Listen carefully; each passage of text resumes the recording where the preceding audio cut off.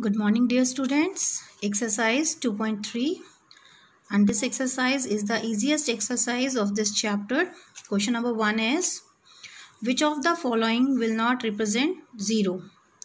A part is 1 plus 0.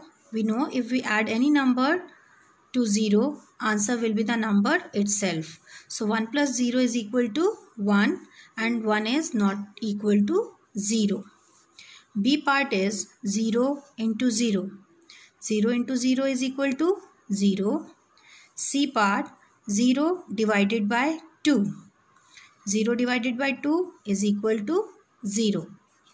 D part is 10 minus 10 divided by 2. We all know 10 minus 10 is equal to 0. So 0 divided by 2 again will get 0.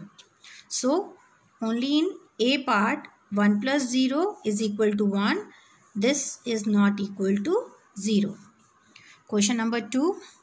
If the product of two whole numbers is 0, can we say that one or both of them will be 0? Product of two whole numbers is 0, then one of them can be 0 and both of them can be 0. For example, 2 into 0 is equal to 0 and we can take any number 43 into 0 is equal to 0.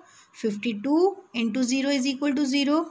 And if we take both the zeros and we multiply them, answer will again be 0.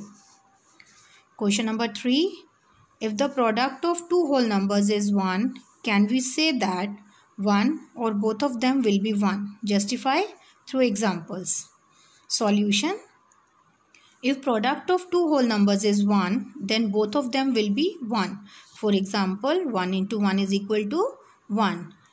If we take only one number and other one number 1 and other number greater or less than 1, then product will not be 1. For example, if we take other number less than 1 that is 0, 0 into 1 will be 0 if we take another number greater than 1 for example we have taken 2 in this part 2 into 1 will be 2 if we take any other number 94 into 1 again answer will be the number itself. The number bigger number will be the answer